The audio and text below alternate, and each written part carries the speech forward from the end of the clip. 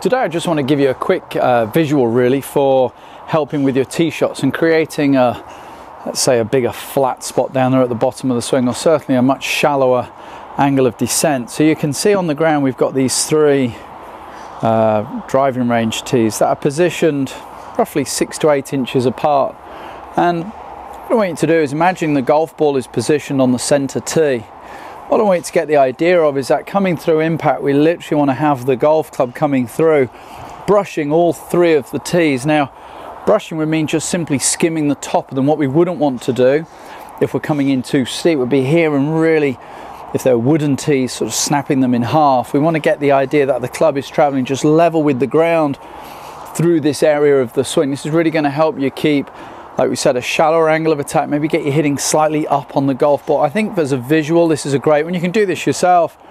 If you haven't got these rubber range tees, just get some normal sized golf tees, just have them sticking out the ground, just a couple of inches, like we said, six to eight inches apart, and then just make some little swings like I'm doing here.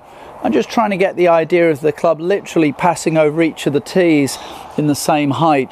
Um, if you're a player who maybe tops the ball a little bit, what you may find is your, your club's going to be quite high over the, the furthest left ball. If you sky the ball where you hit it off the top of the club, then there's a good chance that the club will be too high over the, the, uh, the back tee peg there and coming in on too sharp a, of an angle.